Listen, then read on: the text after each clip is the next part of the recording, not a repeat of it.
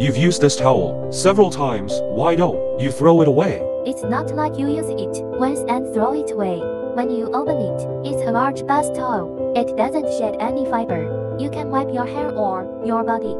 You can reuse the towel several times and use it as a rag. I use a disposable bath towel from Unifree. It doesn't take up space to travel with.